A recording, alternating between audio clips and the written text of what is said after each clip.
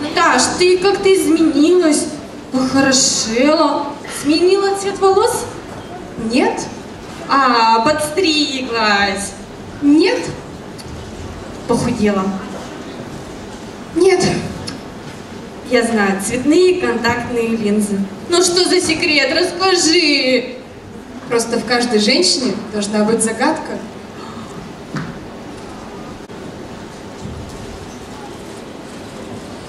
Антон Палыч Чехов «Загадочная натура». Купе первого класса.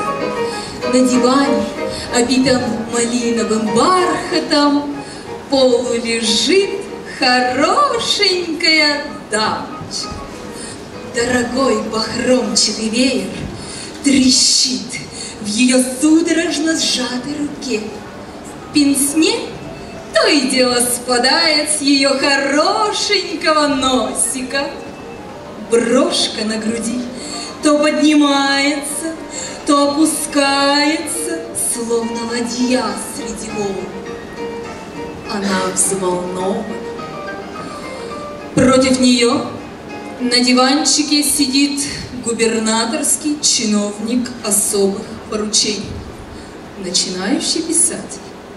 Он глядит ей в лицо, глядит в упор с видом знатока.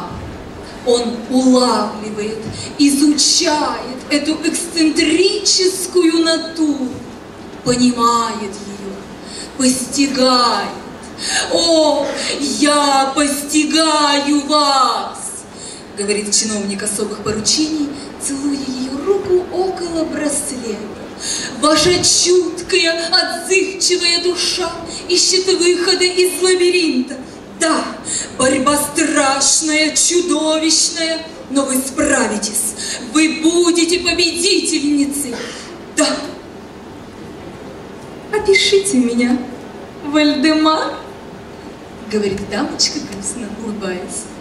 Моя жизнь так полна, так пестра, так разнообразна, но главное, я несчастна,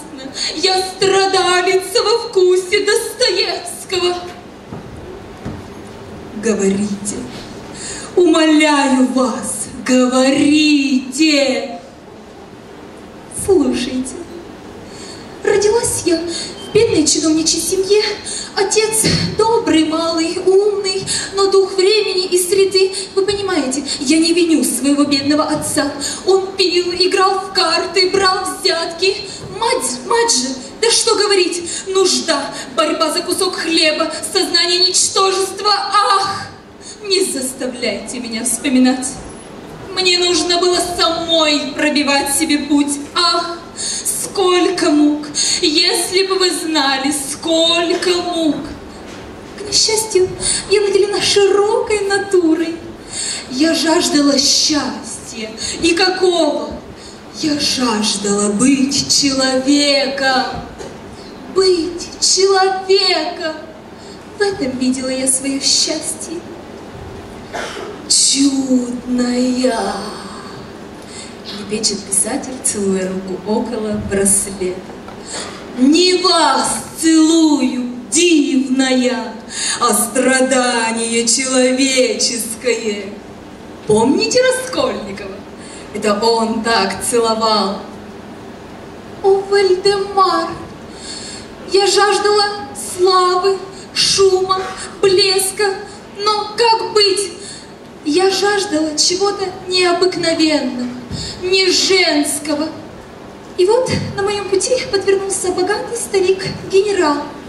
Поймите, Вальдемар, это было самопожертвование, самоотречение. Я не могла поступить иначе.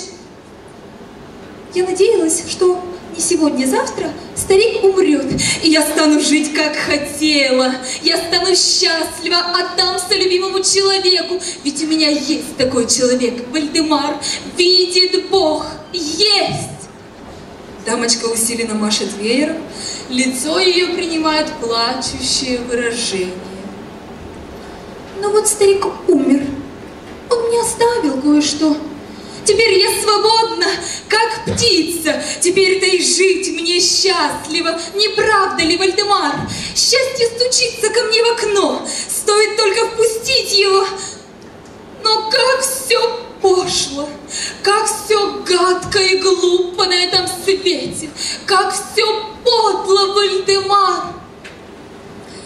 Я чувствую, что счастье мое далеко-далеко. Я несчастна, несчастна, несчастна.